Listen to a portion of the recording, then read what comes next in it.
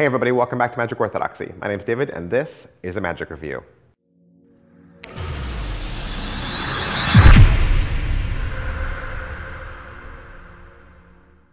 Hey, today we're going to look at Wink from the Other Brothers.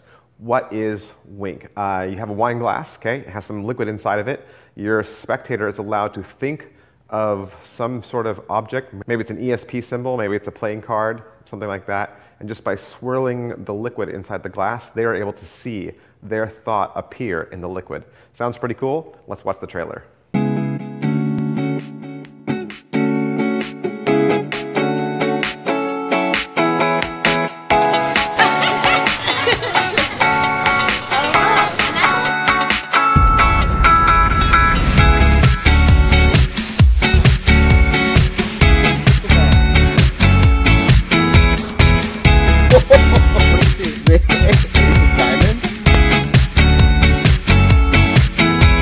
Hey guys, I'm Daryl Williams. I'm Daryl Davis. We're the other brothers. This is Wink.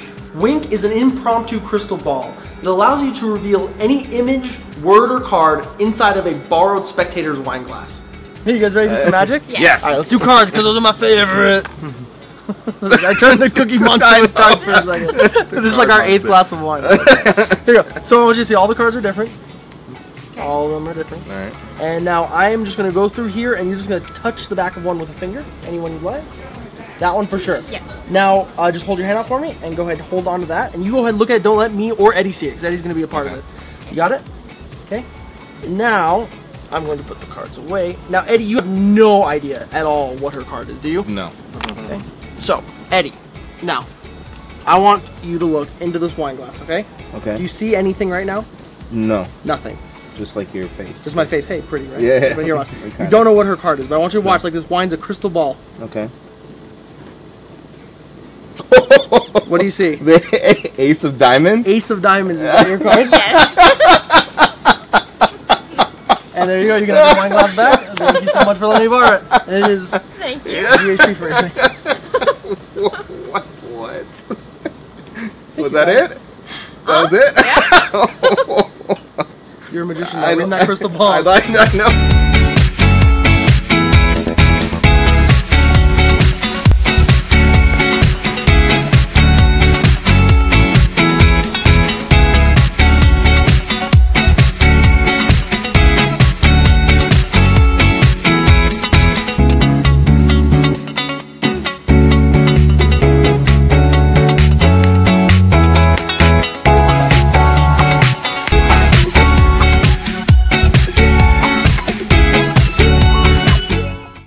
So that was Wink from the Other Brothers and Vanishing Incorporated.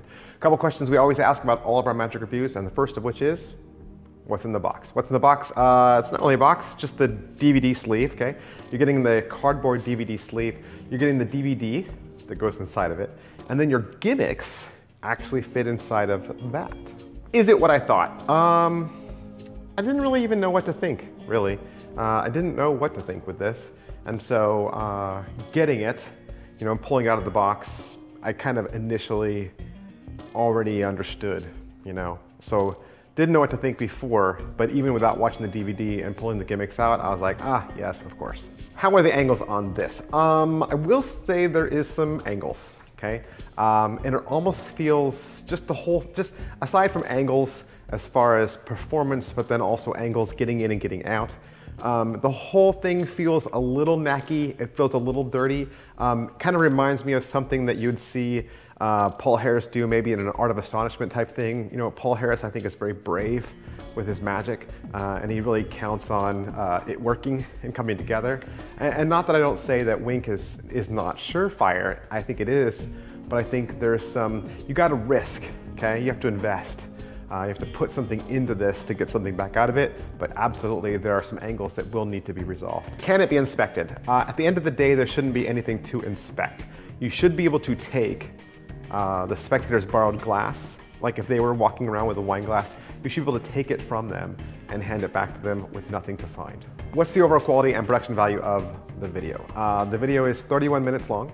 Uh, it features both of the other brothers, Daryl and Daryl, uh, behind a bar counter, like home bar, uh, which is, you know, a setting that is appropriate. Uh, most of the video seems like they're speaking to a stationary camera. They don't appear to be mic'd. Uh, there are some close-up shots, perhaps where one Daryl is filming the other Daryl, uh, but there wasn't any um, performances on this at all, whether they be live or studio. There was no performance of this effect. They just kind of went into, okay, here's how you do it. And I get that it's kind of a hard trick to film, but I kind of just would have liked to have seen it anyway. Is it well made? Um, you know, actually in the write-up, they say in the write-up that they will teach you how to make your own gimmicks, and they don't actually do that. So they don't teach you how to make your own gimmicks. The only way they would have taught you is that when you pull the gimmicks out, you look at them and say, oh, I, I guess I know how to make this. Like you just figure it out by looking at it, um, but I can't imagine it being made any different or any better.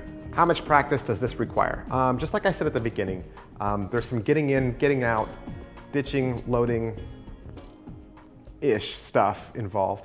Um, and then I would also say that it's going to require a good deal of audience management from you, especially if you're performing this for a room or for a party, okay?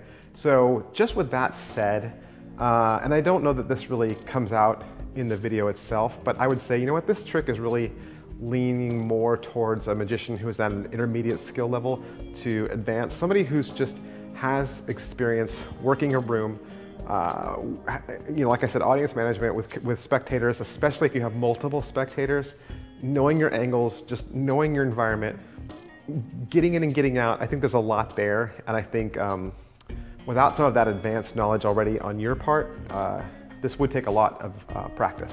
How much setup and reset is there? There is some initial setup um, that is kind of arts and crafts, but nothing that you didn't learn in kindergarten. Uh, and as far as reset goes, it's pretty instantaneous. Your gimmicks should last a very long time, uh, should you take care of them. Um, but uh, it, it, it, should fit seamlessly into any of your pockets. You should be able to get in and get out with no issues. Positives. All right, so what are the positives to Wink from the other brothers? You know, with this, um, the other brothers have created a very beautiful crystal ball illusion that is sure to convince your spectators that you have superpowers. Negatives. All right, so what are the negatives? You know, like we say around here, there's negatives to everything. These are just the negatives that I see. They don't have to be the negatives that you see. Uh, would have liked live performances. Would have liked um, maybe just a little bit more on the video besides 31 minutes. Uh, just It just feels like there could have been more given. There, there's some mention of using uh, other types of liquids and other types of containers that would have been interesting to see that more explored because really from the video initially, from the commercial, I think most people would just assume, oh, I can only do this with a wine glass. But you could do it with uh, a bottled water, okay, as long as the label wasn't there. You could do it with any see-through um, device that didn't have any sort of um, restrictions. And those restrictions are covered in the video and you'll learn what those are. But I think if they had pitched it more like, oh, you could use a water bottle, um, I think they would probably grab some more people who thought like, well, I don't walk around with a glass of wine. I don't know. So yeah, that's just my two cents. Is it worth your money? You know, it's only 20 bucks and you're getting, you know, everything you essentially need. Uh, a lot of magicians I know do work um, bars and parties uh, especially like restaurant magic where a wine glass would be available. I think this seamlessly fits into that. That said, who would like this? Definitely people that do walk around in restaurants or who do party magic. All right, so that is Wink from the Other Brothers and Vanishing Incorporated. As always, I want to thank Murphy's Magic for allowing me to have this trick so that I could do the review for you. And if you would like to purchase this for yourself, you can find it from your very favorite Murphy's Magic retailer. Thanks, bye.